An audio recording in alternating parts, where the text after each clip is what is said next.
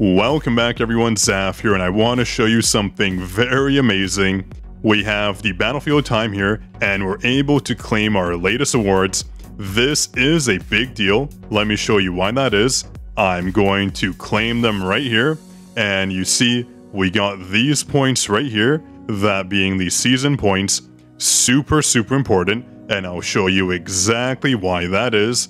And I know the real importance here is actually this right here, Traces of Shadow being one of the rare resources we have, so clearly getting 50 is obviously something very important, but what I'm focused on is these points here, and I guess these ones as well. We have the Medal of Time, a thousand is quite a lot, and remember, if you do have these, make sure to use them ASAP. We only have four-ish days left until they do expire, so go to the shop and use them. I will talk about the shop in just a moment, and also, real quick congrats to Lena for getting the first commenter on our last video.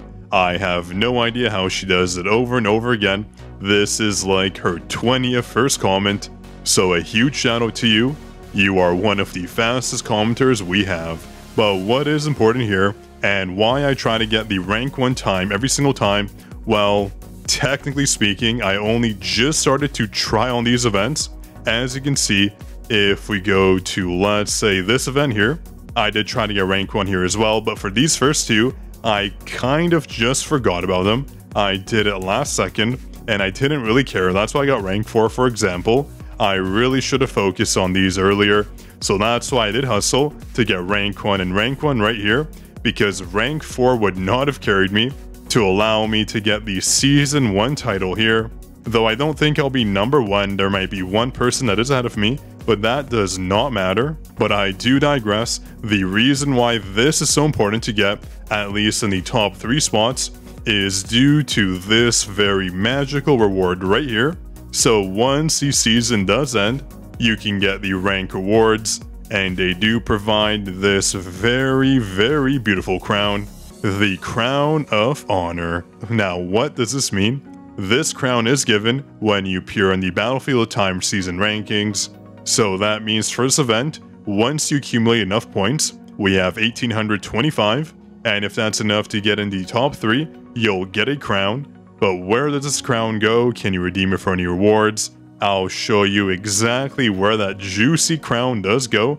If I can just go back to our menus, there's so many choose from here. Let me press this button here. So let's click our profile. It should be this area right over here. Clicking it, and I tabbed out my accent. There we go clicking it yet again. And as it loads in, you can see your crowns will go right over here. They're basically just a display. There really isn't anything else to it. It'll just be on your profile. You'll have a pretty crown, and it's basically like a, um, let's say, swag factor to your profile page. Obviously not that crazy, but it's still like a completionist activity, trying to get the crowns for every season. I just started doing it for this season, season 1, and hopefully every other season coming up for as long as I play. It really won't benefit you though getting those crowns, but at least it will motivate you to get more rewards for the events, because Battlefield Time does provide some very decent rewards as you saw. Those Traces of Shadow were no joke, providing us a solid, solid amount. 50 is honestly more than I expected. Maybe something like 10, 25, that would be nice but 50, the devs clearly do want to reward that people get to the top 3 spots. So that's why I do make guides for the Battlefield time, so everyone can follow them. That way they don't feel lost, they know exactly what to do to optimize their builds, use the proper hunters, because it's a very confusing system. There's a lot of optimal weapons you can use, a lot of hunters, so picking the right one can be hard, including skills. Using the right skills is all part of strategy, Doing it correctly is not easy. Even for me, it takes me dozens of tries to get the proper time, even if I have the right loadout. And wow, looks like we got three Traces of Shadow, that's very nice. Usually we never get them, so I will gladly take that. And Gates, can I just tell you how easy they've become? No longer do I have to wait hours and hours, rescanning over and over again, waiting for 5 minutes not getting the gates I want. It was a struggle and I despised it. Something else they do need to do if they want to keep improving the quality of life of this game, is to just make us use instance dungeons and all core missions all in one go. I really don't see the merit in letting us only do it two or eight times, whatever the pay to win and free to play mounts are. If I can do it once and you let me sweep it four times secondly per run, just let me do it all in one go. I know the missions only take about a minute to do, but it's still such a waste of time. I despise games that make you do all these chores for little to no benefit when it can just be consolidated through one button click. Yes, if you've never done it in the past, you should be forced to complete it obviously, but once you've done it hundreds of times, just give us the option to sweep it. Wasting a player's time is not cool at all. Please stop doing it. That includes this dungeon here. Let me just pop it open. The Battlefield Chaos. I don't see why we need to do it every single time for each of the three runs. Just let us sweep it, and that sweep effect should apply once we have completed it once. It's not like the difficulty does increase. All it does is waste our time, which you should avoid in games like this. Our time is precious. It lets us get more money to spend on the game, so please devs, do not waste it anymore. But yeah, I know for a fact the devs are going to implement that change very soon. I am looking forward to that.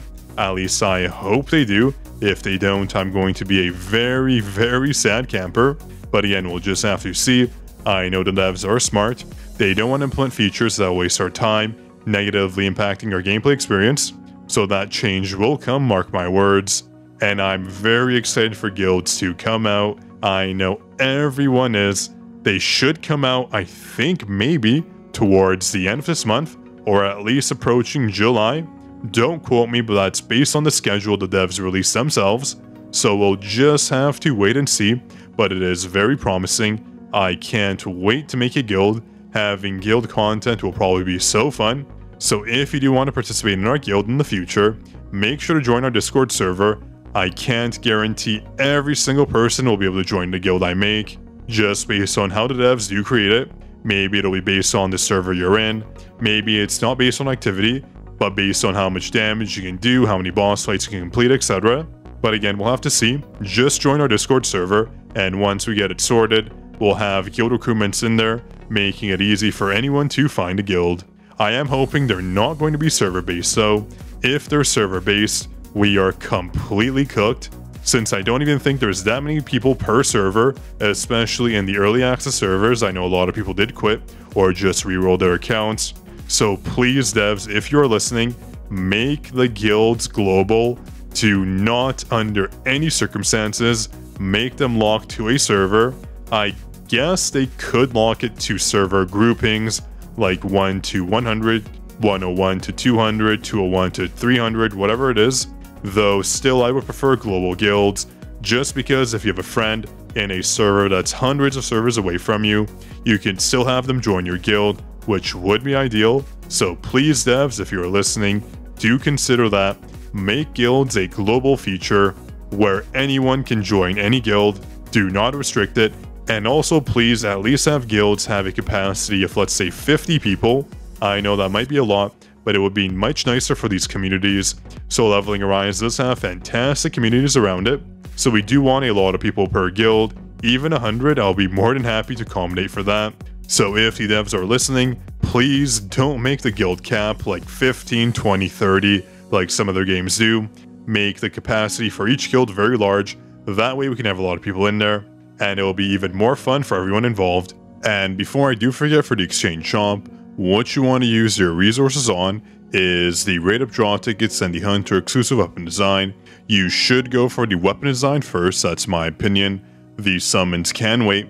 These are much more rare, you do want to craft SR weapons for your hunters and getting these designs takes so so long to do, so focus on these first, then go for the rate up draw tickets and then the custom draw tickets, but if for some reason you're super desperate, you can substitute let's say the custom draw tickets for the Traces of Shadow, that's not a bad value, so go for those as well, totally up to you.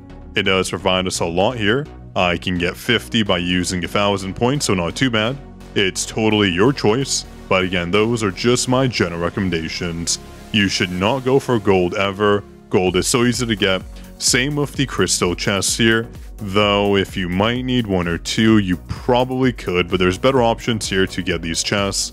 So try not to waste your points. And since I did mention those crystals, you can use your traces of dimensions in your weapon materials exchange. They only cost 900 each, pretty good value, but as you play, you will get a ton for free, quote unquote free, so don't worry too much about these.